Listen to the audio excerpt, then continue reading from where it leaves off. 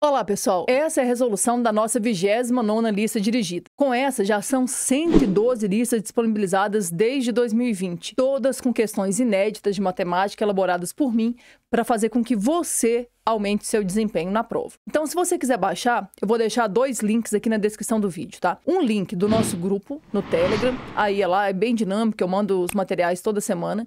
E tem também o Drive, porque eu sei que tem gente que não gosta de participar desses grupos e tá tudo bem. O importante é você entrar, baixar todos os materiais que você julgar que são necessários para sua preparação e depois correr aqui no canal, porque todos eles tem resolução em vídeo. São 112 listas. É muita questão inédita aí para você, no dia da prova, se sentir familiarizado, tá? E se lembrar de mim a cada resolução. Aproveita que você está aqui, se inscreve no canal e deixe seu like, porque eu tenho certeza que até a prova eu vou trazer muitas dicas que vão te ajudar a aumentar o seu desempenho. Eu sou Juliana Rezende, professora de matemática, e eu vou com você até a prova.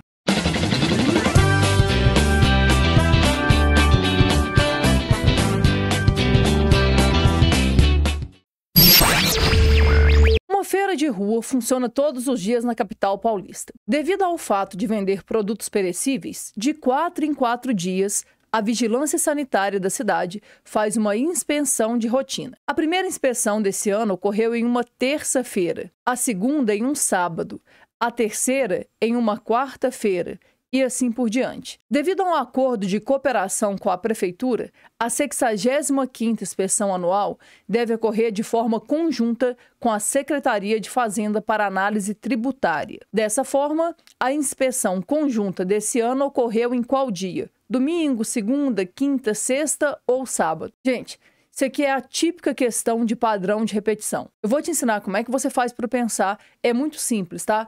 O Enem adora cobrar isso, concurso público adora cobrar isso. Então, se você entender como é que funciona isso aqui, você não vai ter dificuldade nesse tipo de questão. Primeira coisa que você tem que colocar na sua cabeça é: não dá para a gente fazer isso aqui manualmente. Então, tem que ter um jeito fácil de fazer. Só que esse jeito fácil de fazer passa por você descobrir um padrão de repetição. Vamos tentar entender aqui, ó. A primeira inspeção ocorreu numa terça-feira. A segunda foi um sábado. Confere aqui comigo, ó. Terça, quarta, quinta, sexta, sábado. De fato, é de quatro em quatro dias. Depois do sábado, domingo, segunda, terça, quarta. Repara que está bem de acordo com o que o enunciado está dizendo, tá? O que, que a gente vai ter que fazer agora? A gente vai ter que ir listando esses dias até repetir. Ah, Ju, mas eu vou ficar aqui até amanhã listando? Não! Não. Mais cedo ou mais tarde vai repetir. E não vai demorar muito, tá? Vamos lá. Depois da quarta, quinta, sexta, sábado, domingo. Depois do domingo, segunda, terça, quarta, quinta. Repara que até agora não repetiu nada. Depois da quinta, sexta, sábado, domingo, segunda. Depois da segunda, terça, quarta, quinta, sexta. Por enquanto, nada, hein? Vamos lá. Depois da sexta, sábado, domingo, segunda, terça. Three hours later. Opa, repetiu aqui, ó. E depois da terça, se você contar quatro aí, vai ser sábado. E depois do sábado vai ser quarta. E depois da quarta vai ser domingo. E assim por diante. Depois do domingo vai ser quinta depois da quinta vai ser segunda, depois da segunda vai ser sexta. E vai ficar repetindo assim. Essa que é a ideia. Repara, um ciclo aqui, ó, demora um, dois, três, quatro, cinco, seis, sete inspeções. Ou seja, vê se você consegue entender. A sétima inspeção ocorreu numa sexta. A décima quarta inspeção vai ocorrer numa sexta. Por quê? Porque de sete em sete vai cair ali ó, no fechamento do ciclo. A vigésima primeira vai ser numa sexta, e assim por diante. De 7 em 7 vai chegar numa sexta. Se você quiser ir listando aqui até chegar no 65, você pode fazer isso. Mas tem um jeito bem mais prático, que é você pegar 65 e dividir por 7. Por que por 7? Porque é o padrão.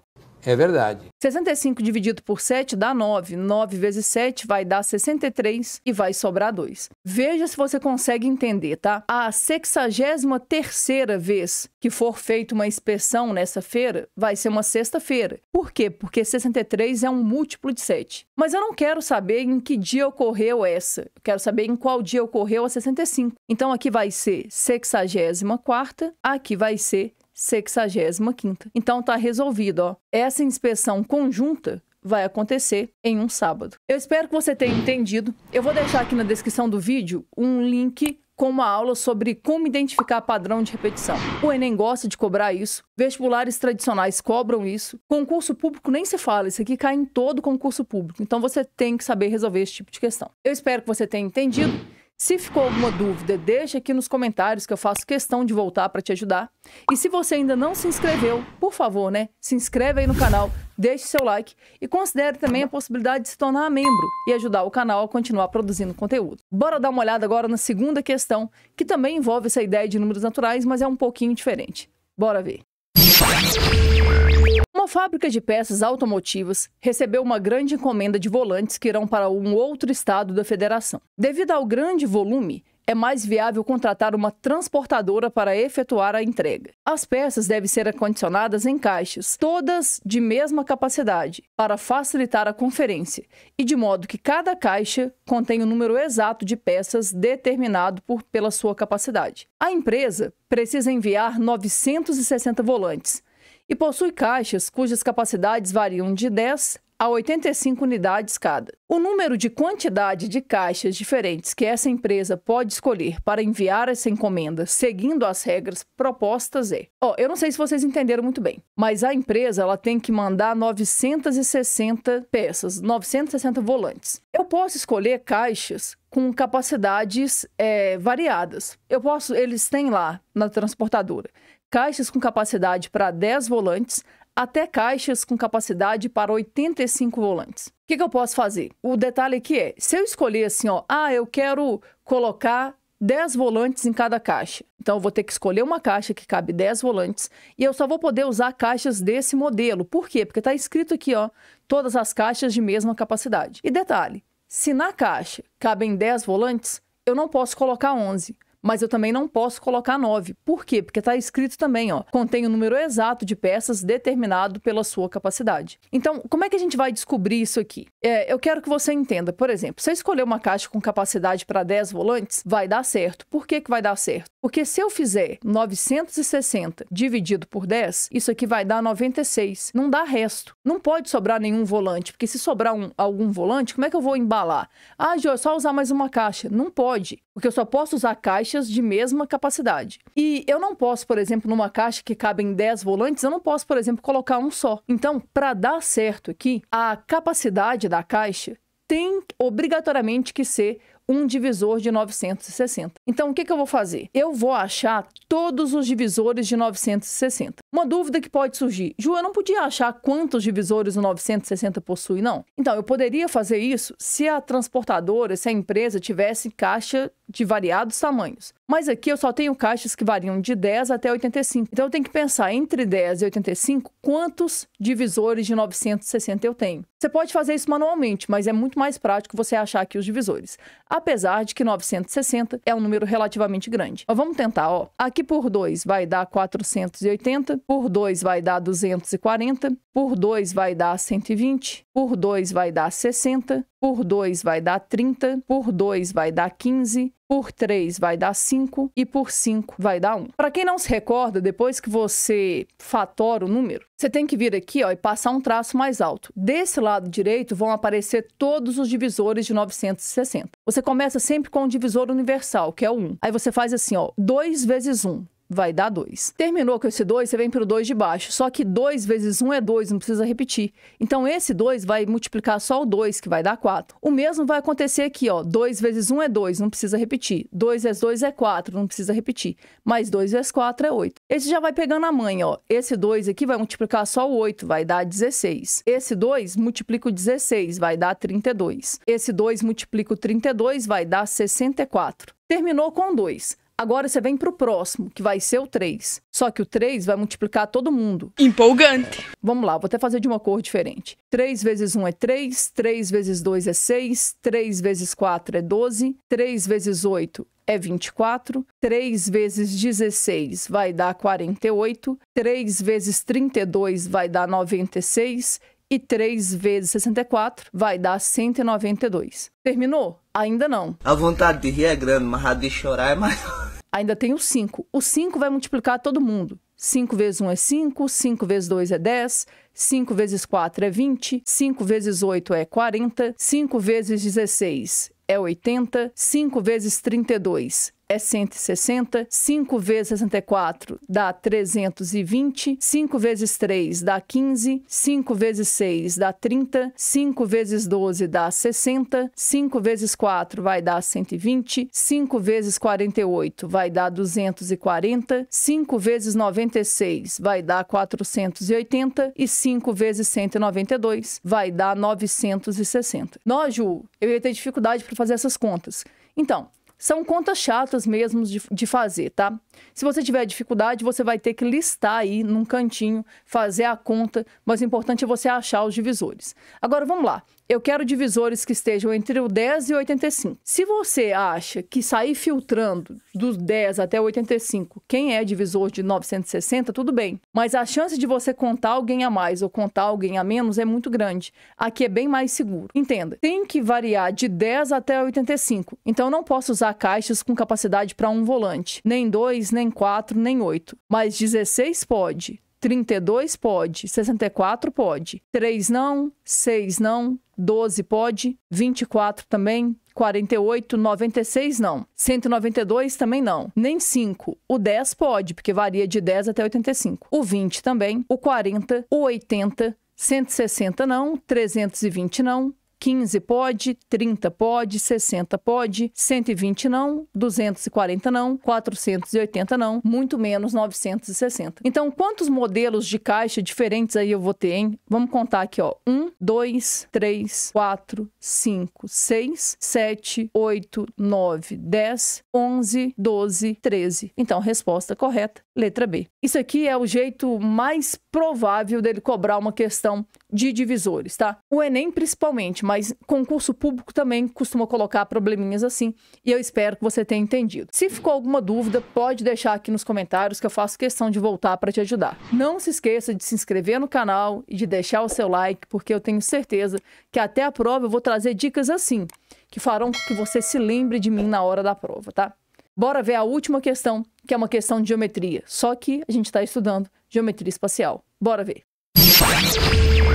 Uma confeiteira precisa calcular o volume de chocolate branco que ela possui em seu estoque. O problema é que o chocolate que ela tem está em um formato de um tronco de cilindro, como o da figura a seguir. Ela mediu e descobriu que a altura maior do tronco do cilindro é H igual a 32 centímetros. Que a altura menor é esse Hzinho aqui, ó, igual a 18 centímetros e que o raio da base é de 12 centímetros. Após alguns cálculos, a confeiteira descobriu que o volume de chocolate branco que ela tem em seu estoque em centímetro cúbico é. O problema é que a gente tem que descobrir aqui o volume de um tronco de cilindro. Existe uma fórmula para você calcular o volume de tronco. Se você quiser decorar essa fórmula, tá tudo bem, não tem problema nenhum. Eu não gosto muito de pensar em fórmula, então eu prefiro outras estratégias, mas aí vai ficar a seu critério, é você quem vai decidir aí o que, que você vai fazer tá?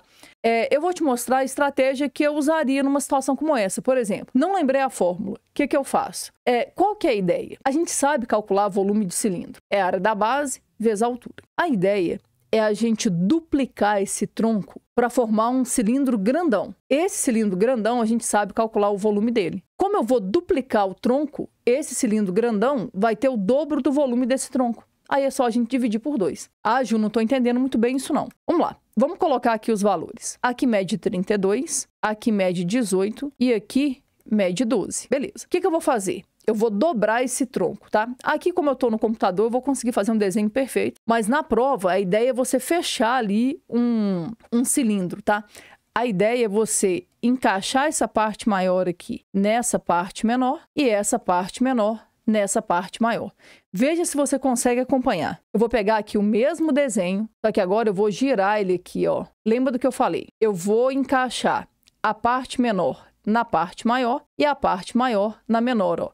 Repara, é o mesmo tronco, só que essa parte menor aqui vai encaixar na maior e a maior vai encaixar na menor. Vai ficar algo mais ou menos desse jeito. Se eu chamar o volume desse tronco aqui de Vzinho, o volume desse vai ser Vzinho também. Então veja se você consegue entender. O volume grandão vai ser duas vezes o Vzinho. O detalhe é que o volume grandão a gente sabe calcular, porque essa alturinha aqui, ó, tá de cabeça para baixo, mas essa alturinha aqui mede 18 e essa alturona aqui mede 32. Então, o que, que vai ser a altura total? A altura total vai ser 32 mais 18. Então, a altura total vai ser 50. Você vem aqui e calcula normalmente o volume desse cilindro grandão. Vai ser área da base, π vezes 12 ao quadrado, vezes a altura total, que é 50. Então, o volume grandão vai ser 12 ao quadrado é 144. Vai ficar 144π vezes 50. Faz aí num cantinho qualquer. 144 vezes 50. Vou fazer aqui vezes 5, tá? 5 vezes 4, 20, vão 2. 5 vezes 4, 20. Com 2 dá 22, vão 2. 5 vezes 1, 5. Com 2 vai dar 720. Só que cuidado, tá? Não é 720, é 7.200, porque na verdade aqui é 50. Então o volume vai ser 7.200 pi. Repara que tem essa resposta, mas você não pode marcar. Por que que não? Porque 7.200 pi é o volume desse cilindro inteiro. A gente quer só o volume do tronco, então é metade. Então confere. 2 Vzinho vai ser igual a 7.200 pi. O que, que vai ser o Vzinho? Vai ser 7.200 pi dividido por 2. Isso aqui vai dar 3.600 pi. E aí está resolvido o seu problema. Resposta correta, letra D. Não sei se você entendeu muito bem essa estratégia, tá? Se você quiser decorar a fórmula, pode decorar. Mas essa ideia de você acoplar dois troncos idênticos e calcular o volume de um cilindro completo é genial e faz com que você não tenha que decorar mais uma fórmula, tá? Se você ficou com alguma dúvida, deixa aqui nos comentários, porque eu faço questão de voltar e responder cada pessoa que interage aqui comigo, tá? Aproveita que você está aqui, deixe seu like, se inscreva no canal e a gente vai começar o nosso circuito de lives aí de revisão para a prova do Enem. Fica de olho, ativa as notificações, porque eu tenho certeza que você não vai se arrepender. Um abraço e até a nossa próxima resolução.